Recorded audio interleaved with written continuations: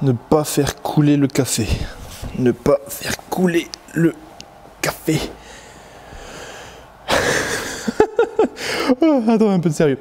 Yo l'équipe, c'est Baz, j'espère que vous allez bien. On se retrouve pour une nouvelle vidéo et on se retrouve pour une nouvelle FAQ. Voilà, donc ça fait un petit moment que vous n'avez pas fait de FAQ sur ma chaîne YouTube, puisque les deux dernières FAQ que j'ai faites, c'était avec un invité spécial. Et comme là, actuellement, il y a pas mal de changements, de mise à jour et d'updates dans ma vie, dans mes objectifs, j'ai jugé judicieux de récupérer vos questions sur Instagram et de vous en faire une vidéo spéciale parce qu'il y a beaucoup de questions qui reviennent souvent. Ça va pas être une FAQ basée sur la diète ou la muscu comme j'ai pu le faire, parce qu'à un moment, voilà, je ne vais pas répéter toujours la même chose, mais plutôt une FAQ basée sur euh, mes différents projets, la course à pied, euh, YouTube, etc., euh, etc. Donc habituellement, je, trie les, enfin, je vais dans les questions au hasard avec ce que vous m'avez posé sur Instagram. Là, je me suis permis de sélectionner par avance les questions qui revenaient le plus souvent et de les trier, comme ça c'est un petit peu plus clair et concis pour vous. Donc dans un premier temps, on va parler de tout ce qui touche à la course à pied. Dans un deuxième temps, tout ce qui touche au base gym. Ensuite, on va passer sur la partie YouTube. Ensuite, euh, base athletics, donc ma marque, où je compte aller.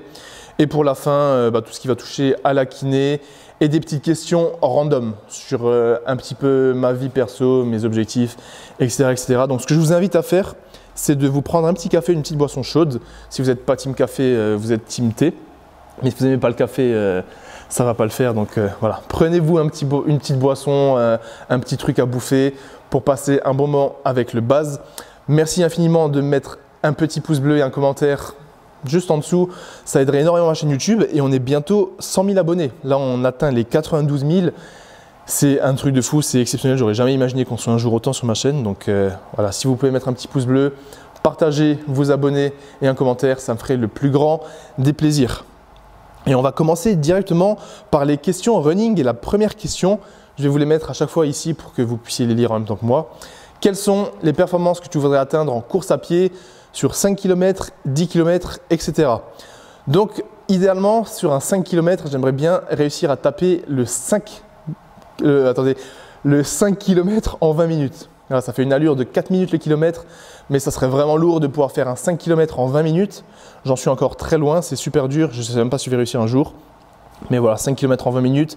10 km, j'aimerais bien pouvoir le faire un jour en 45 minutes de nouveau. Ça serait un très bon palier pour moi déjà. 10 km en 45 minutes.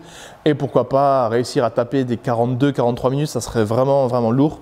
Et ensuite, les performances j'aimerais atteindre... Euh, pourquoi pas un semi-marathon, mais bien, tu vois, parce que je, serais capable aujourd'hui de courir un semi-marathon, mais faire un semi-marathon avec euh, une bonne allure. Et à long terme, euh, pourquoi pas un petit marathon, mais ça on m'a posé la question juste après. Donc on va passer à la suite. Est-ce que je cours encore vers 6-7 heures le matin comme je faisais avant? Donc non. La simple raison, c'est pas que j'ai perdu la motivation. La raison, c'est simplement qu'en ce moment il fait beau, il y a nouveau le soleil et j'arrive à me caser un créneau pour courir dans la journée. Donc je ne vais pas me forcer à courir à 6 heures du matin si je sais que je vais avoir le temps dans la journée et qu'il fait plus beau et je serai dans un meilleur mood. Souvent, on s'impose de se lever tôt pour faire quelque chose alors qu'on peut le faire après. Et parfois, je trouve que c'est pas forcément judicieux de se forcer à faire quelque chose qu'on n'a pas forcément envie alors qu'on peut faire la même chose euh, un peu plus tard. Donc non, en ce moment, je cours plus à 6 heures du matin parce que je préfère me lever pour bosser mes projets, mes coachings plutôt que de courir. Et je me laisse la course pour euh, matinée ou fin de journée, tout simplement. Donc ensuite, Baptiste, l'objectif marathon tient toujours.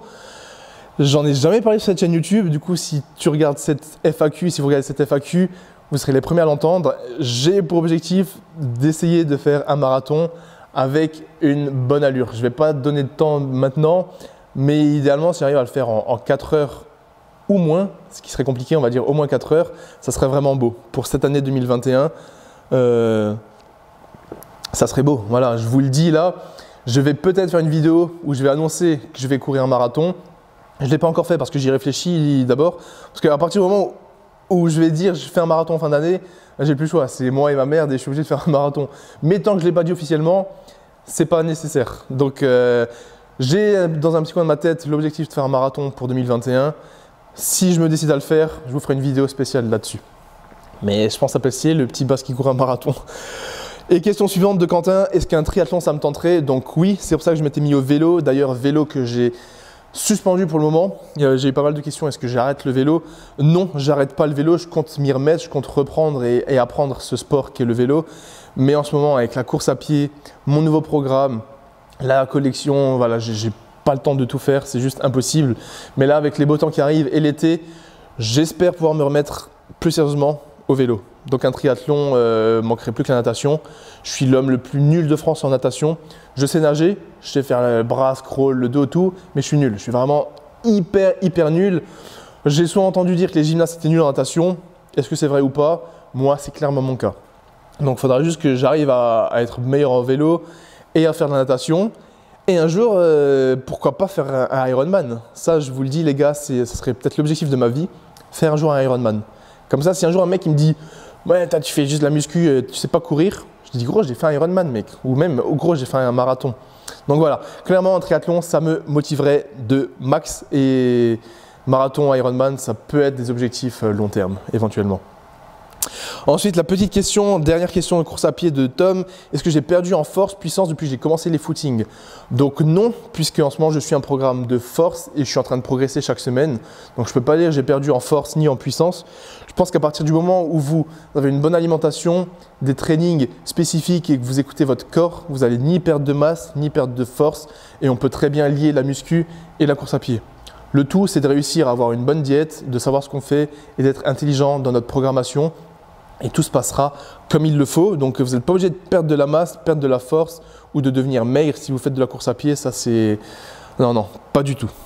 Donc euh, donc voilà pour la première partie de questions. Là, on va passer aux questions qui concernent le bass gym et ma salle dans laquelle je me trouve actuellement sur mon beau petit canapé devant ce beau mur noir que j'ai enfin peint et que vous allez voir dans les prochains vlogs. Donc c'est quoi la suite pour le Bass Gym? Nouvelles acquisitions, vidéos, etc. Donc la suite pour le Bass Gym, c'est un petit peu flou même pour moi, parce que là pour l'instant j'y fais ma kiné, j'ai ma petite pièce de kiné là derrière, je fais mes thérapies, je m'entraîne moi, je fais mes vidéos, et quand j'invite des gens, ça me permet de filmer mes vidéos ici. Ça de base c'est l'objectif ultime. Là petit à petit, la kiné, ça commence à... C'est pas que ça me saoule, mais ça me prend du temps qui est pas judicieux pour moi. Je vous en parlerai après parce que j'ai des questions qui concernent ça. Donc idéalement, la suite pour le bas gym, c'est pourquoi pas pouvoir un jour l'ouvrir à des gens, au public. Pourquoi pas en faire d'autres dans la France avec une même thématique, réussir à, à créer un univers autour de ça. Je dis ça, c'est vraiment une idée qui est très très loin dans ma tête parce que maintenant avec les chaînes commerciales, Fitness Park, Basic Fit, c'est très compliqué de faire des choses et ça va dépendre de la situation sanitaire, ça va dépendre de moi ou où j'en suis dans ma vie, de la kiné, de plein de choses. Donc voilà. Sinon, euh, nouvelles acquisitions, il euh, faut absolument que j'achète une poulie, faut que absolument que j'achète les haltères qui vont de 2 kg à 25 kg, et ensuite des trucs cardio, style des assault bike, pourquoi pas des rameurs, et voilà, plein de petites acquisitions. Pas de machine forcément muscu pour l'instant parce que c'est pas, pas forcément mon délire. Et si j'ai une poulie, bah, j'aurai tout ce qu'il me faut. Donc, euh, donc voilà, une nouvelle acquisition également, c'est le gros logo blanc sur mon mur. Ça, ça devrait arriver dans les prochaines semaines. Donc euh, question suivante qui ressemble un peu, c'est quel est l'avenir du bas dans les prochaines années? Comme je le disais, si j'arrive à créer un jour un délire où il y a plusieurs salles dans la France, ou si tu es abonné à, un base gym, tu peux aller dans tous les base gym de France, tu es connecté à une application, tu as mes habits, créer ce petit univers, euh, ça peut être vraiment lourd. C'est peut-être impossible, mais qui vise haut arrivera haut. Donc, euh, donc voilà. Ça, question qui revient souvent, peux-tu estimer le coût financier des équipements de ta salle de sport? Je peux estimer, voilà, moi je suis transparent avec vous. Euh, pour être honnête, je ne pourrais pas là maintenant vous dire un budget global total, mais je peux vous, vous lâcher rapidement des trucs. Mes haltères de 40 à 70 kg, je les ai payés 2200 euros. Le banc à lombaire là que je vois, il a coûté 300 euros à peu près. Euh, la plateforme, elle m'a coûté environ 200 euros. Donc là, on est déjà dans les 3000. la, cage complète avec les barres de traction, rack à squat, ça m'a coûté à peu près 1000 euros. Donc là, on est dans les 4000, on va dire. Euh, le banc de couché, il m'a coûté 500, plus les deux autres bancs, 300 et 200, on va dire 1000. Donc là, on va dire dans les 5-6 000. Après, il y a plein de petits matos qui s'accumulent à, on va dire, 1000 euros. Donc voilà. Niveau matos pur et dur, on devrait peut-être être dans les 10 000 euros parce qu'il y a encore les disques, les barres. Donc voilà, on va dire plus ou moins 10 000 euros. de matos. Après, il y a encore la peinture que j'ai dépensée, il y a, les tapis, le petit canapé. Voilà, il y a plein plein de choses, mais on va dire pour l'instant environ 10 000 euros, avec pas mal de trucs d'occasion. Voilà, pour le base gym et, ça vous donne à peu près un aperçu. Donc là, on va passer aux questions YouTube. YouTube, YouTube. Toujours objectif 100K pour YouTube. Oui, clairement, c'est l'objectif euh, de fou. Je suis pas là pour les chiffres, ni pour le nombre d'abonnés, ni pour l'argent. Je suis là pour le kiff, mais voir 100K et pouvoir recevoir le trophée. Vous savez, quand, quand j'aurai 100 000 abonnés, je vais recevoir le petit trophée avec le logo YouTube. Et ça, ça serait incroyable, les gars. Donc, euh, aidez-moi à avoir ce putain de trophée. Ça serait trop, trop beau. Bon, à 100 000 abonnés, ça serait un pur kiff. J'aurais jamais imaginé être là aujourd'hui. Donc, euh, pourquoi pas bientôt, mais c'est clairement l'objectif, l'objectif d'avoir ce petit trophée 100 000 abonnés. Alors, euh, est-ce que j'ai des feats pour le futur? Bah oui, comme je disais, 2021, moi je suis, je suis chaud à faire pas mal de feats. De une, ça vous fait kiffer, je le vois à travers les stats des vidéos. De deux, ça me permet d'échanger avec des personnes. De trois, cette personne gagne en visibilité, moi je gagne en visibilité, c'est tout bon pour tout le monde. Donc euh, des feats de prévu. Euh, j'ai des noms qui reviennent souvent. Moi, je suis ouvert à tout le monde. Il y a, il y a Baptiste Marché de Bench et les cigares que j'avais recontacté il n'y a pas longtemps. Il y, a, beaucoup qui me demandent avec Marvel, avec Bodytime, avec Thibaut. En fait, tous ceux qui ont des chaînes YouTube, Eric Flag, euh, Avner. Je connais pas tout le monde personnellement, mais moi, je suis ouvert avec des feats avec tout le monde. Du coup, si vous voulez voir des feats, je vous invite à aller écrire à ces personnes et pourquoi pas ensuite, on se contactera par la suite. Voilà, voilà. Le youtubeur que je regarde le plus, donc là vous vous attendez à, ce que je vous dise, un youtubeur muscu. Je regarde pas du tout de youtubeur muscu, même très peu. Les seuls que je regarde, c'est des américains. Ça va être Russ Wall, Christian Guzman, donc tous les gens qui m'inspirent à créer un espèce d'univers. Mais les youtubeurs que je regarde le plus, et ça va nous. Ouais, ça, va être euh, des trucs sur le pas le développement personnel, mais plus euh, le business, le marketing, l'entrepreneuriat, et la culture générale. Voilà des vidéos de Business Impact, de Idriss Aberkan, les vidéos de Jim Shark, euh, tout ce qui va m'apporter quelque chose, qui va m'apprendre quelque chose et qui va bah, ouvrir ma vision, tout simplement. Parce que j'aime pas regarder des trucs pour regarder des trucs bêtement. Donc voilà, j'aime beaucoup regarder les vidéos de Idriss Aberkan, des vidéos d'immobilier, d'investissement financier, euh, parce que c'est des trucs importants pour la vie, les gars. Et on y reviendra après là-dessus. Et là, on va passer sur Base, euh, Base Athletics, donc les questions qui concernent ma marque. Quel avenir pour ma marque? Oh là là, un, grand et bel avenir pour Base Athletics. C'est mon plus grand rêve, mon plus grand souhait et je vais y mettre toutes mes tripes, toute ma, toute ma motivation, tout mon taf. Euh, voilà, j'espère pouvoir créer quelque chose de grand un jour, du plus profond de moi. J'ai des grosses ambitions à travers les habits, la salle, comme je vous disais, créer un petit univers, un espèce d'empire où, où les gens peuvent avoir mes habits.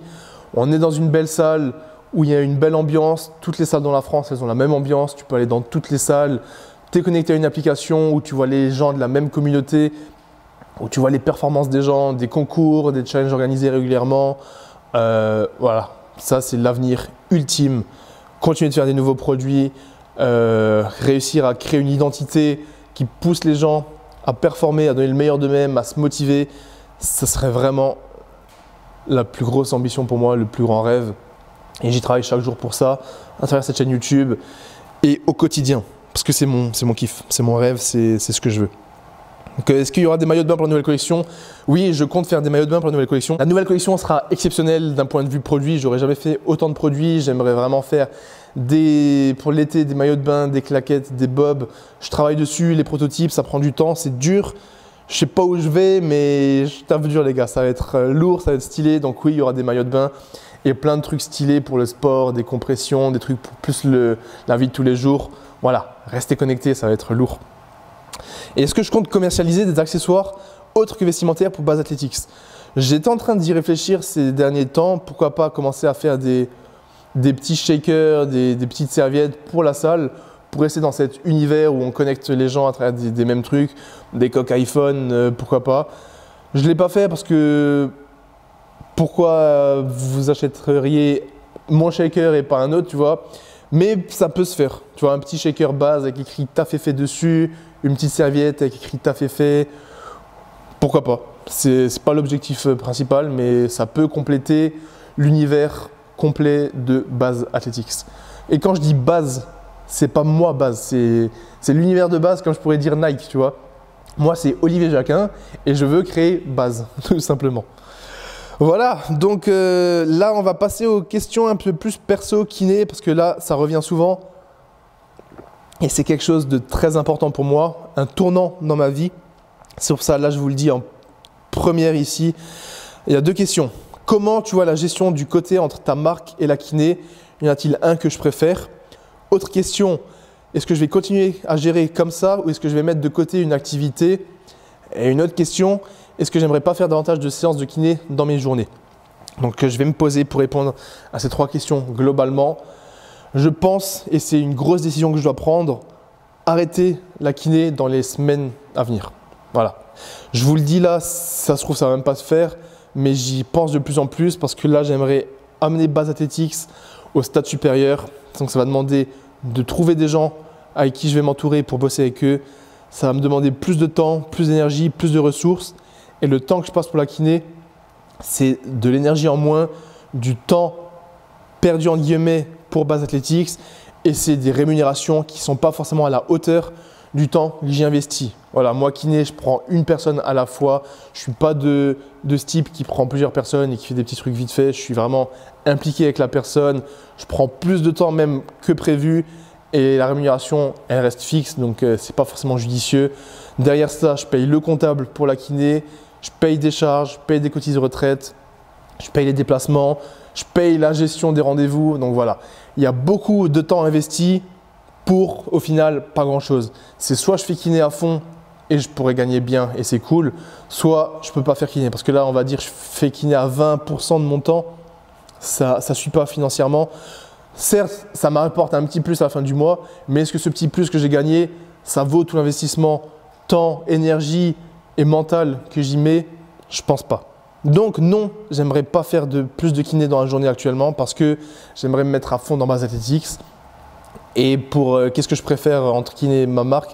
Kiné, je kiffe, c'est ma passion, j'adore le corps humain, j'adore apprendre des choses, mais je préfère là, et c'est ce que je suis en train de faire, me former, enfin me pencher sur des formations, proposer des formations pour vous apprendre des choses, kiné, muscu, entraînement, coaching, tout ça. Et arrêter de faire des patients. Et d'ailleurs, je suis en train de finir ma formation sur l'épaule, ma formation sur euh, comment faire sa propre, euh, son propre programme, formation sur euh, le bassin, les bas du corps, le haut du corps. Voilà, pour pouvoir rester dans cette optique kiné, à apprendre des choses et à transmettre ma passion, mais en libérant du temps pour Base Athletics. Donc voilà, je pense à, terme arrêter la kiné d'un point de vue patient pour l'instant et commencer et garder la kiné d'un point de vue formation. C'est vraiment ce que je kiffe, c'est ce qui me motive chaque jour. ça me mettrait vraiment du temps pour Base Athletics pour donner le meilleur de moi-même là-dedans. Voilà, tout simplement, j'espère que c'est clair pour vous. Euh, j'attends vos conseils dans les commentaires. Dites-moi ce que vous vous en pensez, ce que vous me conseillerez de faire. Est-ce que je vais à fond dans Base Athletics et kiné, je le garde en faisant des formations pour former des gens dans mes différents bases gym? Ou euh, voilà, je vous écoute, mais moi je vais donner mon avis. Petite question qui revient souvent, je vais en parler, même si j'ai pas forcément envie d'en parler. Mon point de vue sur les crypto-monnaies, il y a énormément de questions sur où j'investis mon argent, est-ce que je peux parler de l'immobilier, est-ce que je peux parler de mes investissements financiers, blabla, blabla. Je ne vais pas vous donner de conseils, je suis loin d'être une personne calée là-dedans. Je, fais mon petit bout de chemin, j'apprends de là où je peux, je regarde des vidéos sur YouTube, mais je ne vais pas du tout vous donner des conseils. Voilà, je vais juste vous dire que c'est important d'investir son argent intelligemment. Je l'investis d'une part dans Base Athletics. L'argent que je reçois dans Base Athletics, il retourne dans Base Athletics pour réinvestir, etc. Mais à côté de ça, j'ai quand même de l'argent avec la kiné. Cet argent, je l'ai investi bah, dans l'immobilier parce que moi j'ai acheté mon appartement, je ne suis pas locataire. Ça c'est mon premier. Parce qu'à terme, je compte en acheter un autre pour mettre le mien en location ou rester dans le mien et en acheter un autre pour le mettre en location, voilà, pour avoir des revenus passifs et une rente immobilière positive, forcément. À côté de ça, j'ai commencé à m'intéresser à la bourse, euh, notamment les PEA, donc plan d'épargne en action pour, pour générer un revenu passif relativement sécure, relativement, notamment avec les ETF et les placements qui rapportent des dividendes. Voilà, avec les sociétés, je ne vais pas donner de nom, mais les sociétés qui rapportent des dividendes régulièrement et qui sont connues sur le marché français et qui sont éligibles au PEA. Voilà, je vous laisse faire vos recherches là-dessus. Et je me suis un peu intéressé aux crypto-monnaies parce que je pense qu'il y a. Je suis personne, je suis nul, écoutez pas ce que je dis, mais à terme, je pense que ça peut être quelque chose de bien. Voilà, je vais m'arrêter à ça. Donc oui, j'ai investi dans, un peu dans l'immobilier, je commence à m'intéresser de plus en plus. J'ai un petit peu en bourse, notamment des actions éligibles PEA à dividendes et notamment des ETF. Et j'ai investi un petit peu dans les crypto-monnaies. Je ne vais pas vous dire quoi, ni lesquelles, ni quelles actions, parce que je suis personne pour dire ça et j'ai pas envie vous fonciez tête baissée. Renseignez-vous là-dessus, mais c'est important d'investir son argent intelligemment. Voilà. Euh, c'est quoi tes conseils pour réussir dans le marketing? Café fini. Là, pareil, je suis personne pour vous donner des conseils en marketing parce que j'ai pas fait d'école de marketing ni de formation. J'ai appris dans le tas, je me suis lancé dans Base Athletics, j'apprends au fur et à mesure. Mes conseils, c'est d'avoir un produit dans lequel tu crois au max. C'est de voir ce qui fonctionne, ce qui ne fonctionne pas. C'est de prendre les idées de des choses qui fonctionnent beaucoup et de les faire à ta sauce. Prospecter les clients, voir l'offre et la demande, voir où tu peux. Voilà, moi je, je vous dis ça, mais j'apprends dans le tas. Je vois que les débardeurs ils fonctionnent, donc je vais en refaire. Je vois que les pulls ils fonctionnent, donc je vais en refaire. Je vois que Nike ça marche bien à cause de si, donc je vais me dire ok si je, si fais comme eux ils font à mon échelle, est-ce que ça fonctionne? Si oui, bah, je continue. Sinon, bah, je trouve un nouveau plan. Voilà. Donc conseil marketing, c'est analyser ce qui fonctionne bien, essayer de le faire à votre sauce. Essayez de voir si vos produits fonctionnent avant de les lancer, parce que c'est beau de lancer une formation euh, que tu as fait pendant six mois, mais si personne n'est intéressé, bah, tu auras perdu six mois de, ton temps. Toujours, essaye de, comment dire, de prospecter des clients avant de lancer un truc pour voir s'ils seraient éventuellement intéressés. Putain, j'ai le café qui me remonte. Donc voilà, conseil marketing, c'est tout ça. Éventuellement aussi croire en son produit, ajouter de la valeur, répondre aux besoins, ça c'est super intéressant. Bah, le fameux vendez-moi ce stylo. Tu vas pas vendre le stylo, il est stylé. Tu vas vendre le fait que le mec il a besoin d'écrire. Donc trouver le besoin, répondre à ce besoin de la meilleure façon et répondre à ce besoin d'une meilleure façon que tes, concurrents. Voilà. Et aussi créer une identité à travers euh, le produit que tu aimerais vendre. Pas acheter pour ça, mais acheter parce que derrière tu transmets des valeurs, tu transmets Basics, voilà, t'as fait fait, on fait le taf, on se motive, on se détermine. C'est ça l'image qu'il faut véhiculer. Voilà.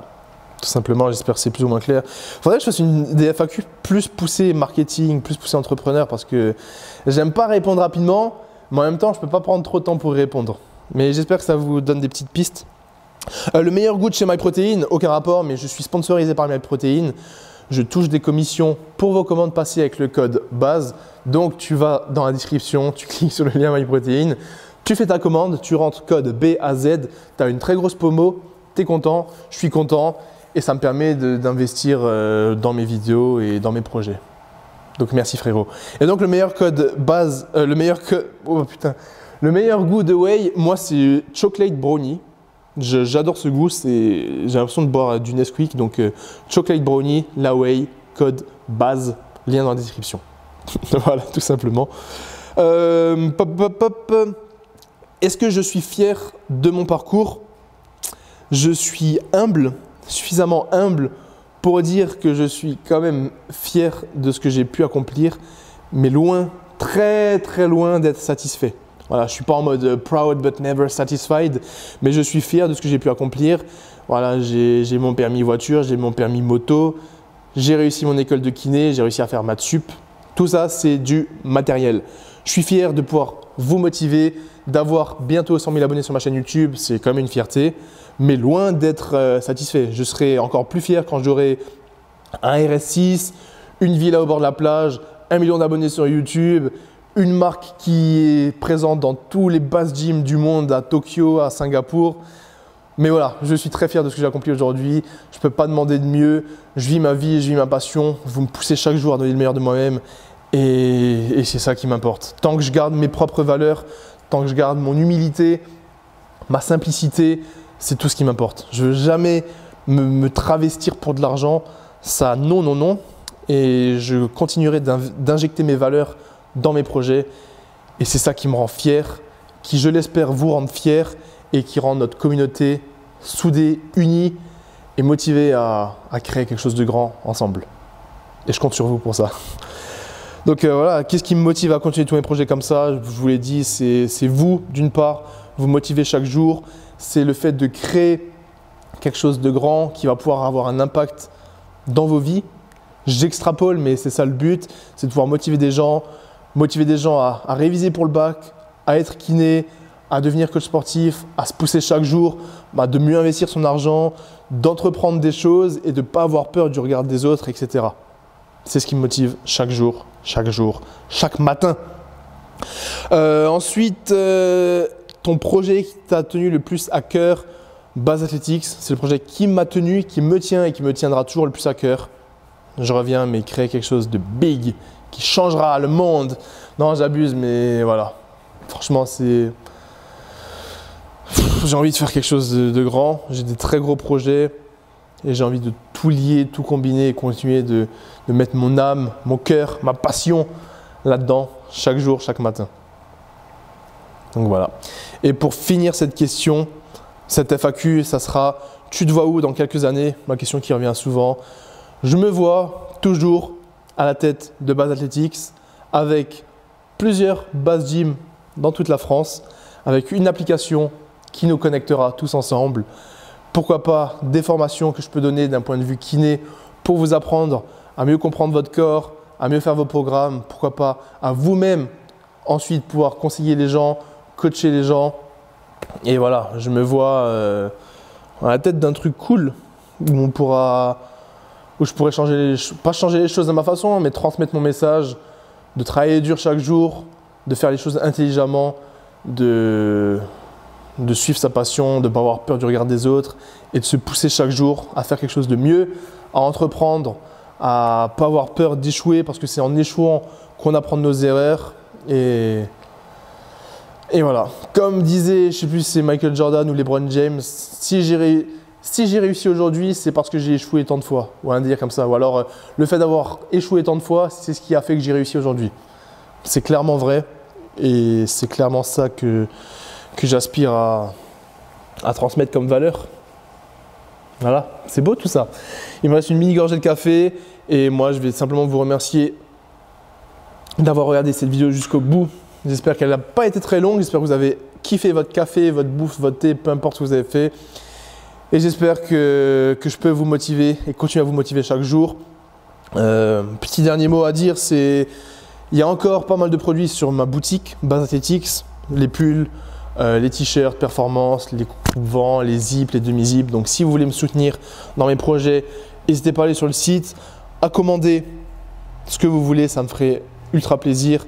Et c'est comme ça que je vais pouvoir grandir, apprendre de mes erreurs et créer quelque chose de toujours plus gros et de toujours plus motivant. Voilà. Merci à vous l'équipe. Merci de mettre un petit pouce bleu, un commentaire pour m'aider à atteindre les 100 000 abonnés. Partagez avec votre mif, votre meuf, votre gars si vous êtes une meuf, vos frères et sœurs, tout le monde. Partagez avec tout le monde. En cours, partagez avec vos profs. et tout ne sera que meilleur. Voilà. C'était base pour cette FAQ. On se retrouvera bientôt pour une autre. Si vous voulez que je fasse plus de FAQ, plus précises, genre marketing, entrepreneur, base athlétique, les vêtements, n'hésitez pas à me le dire dans les commentaires. Ça me permet de voir ce que vous voulez pour cette chaîne et ça me permet de, mieux comprendre vos besoins. Voilà, tout simplement. Et c'était cool.